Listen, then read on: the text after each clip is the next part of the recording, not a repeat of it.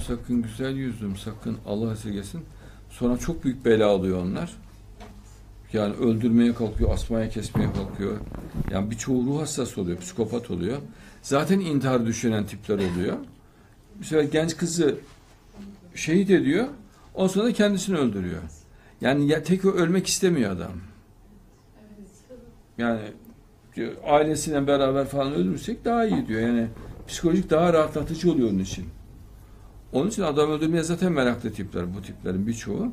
Aman ha yani cins tiplerden şiddetle kaçılmak lazım.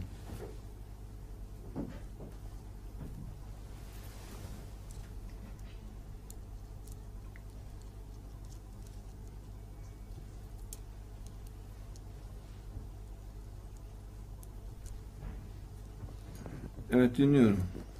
Hatay'a iki